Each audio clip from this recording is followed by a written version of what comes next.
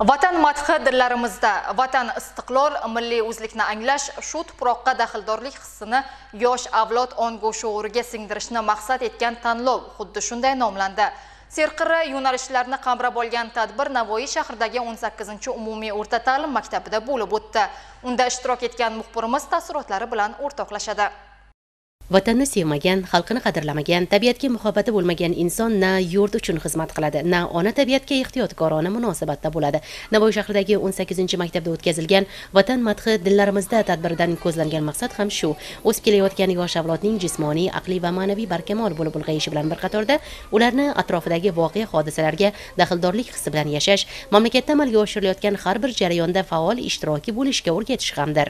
Ushbu tadbir o'quvchi yoshlarni bo'sh vaqtlarini mazmunli o'tkazish maktabda va maktabdan tashqari olib borilayotgan ishlarning mazmunini aks ettirish vatanga muhabbat hissini uyg'otish maqsadida vatan madhi dillarimizda mavzusida tashkil etildi. Bunday tadbirlarning o'tkazilishi farzandlarimizni har tomonlama barkamol va ma'nan yetuk insonlar bo'lib voyaga yetishida muhim tarbiyaviy vosita bo'lib xizmat qiladi. Vatan mening nigohimda mavzusidagi rasmlar tanlovining tabiat qo'ynida o'tkazilishida ham hikmat bor.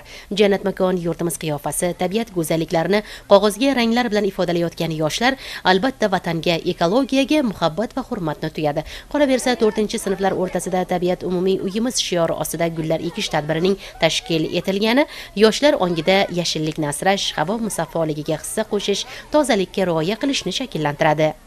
Mana hozirda maktabimizda e, o'quvchilarning vaqtidan umumiy foydalanish uchun har xil e, ko'ngil ko'ngilochar to'garaklar o'tkazilmoqda.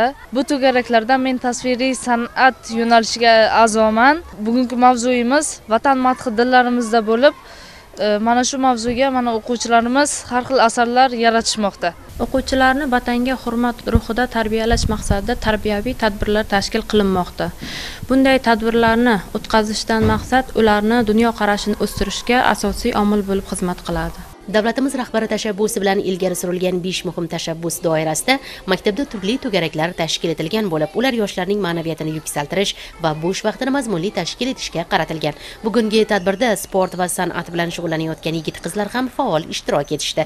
Xususan basketbol xor raqs to'garagi a'zolarining chiqishlari yanada ko'tarinkilik bag'ishladi. Bir so'z bilan aytganda yoshlarning bilimli kasb hunarli ma'naviyatli bo'lib kamol topishi yo'lida imkoniyatlar yetarli. Faqat ulardan foydalan olishsa kifoya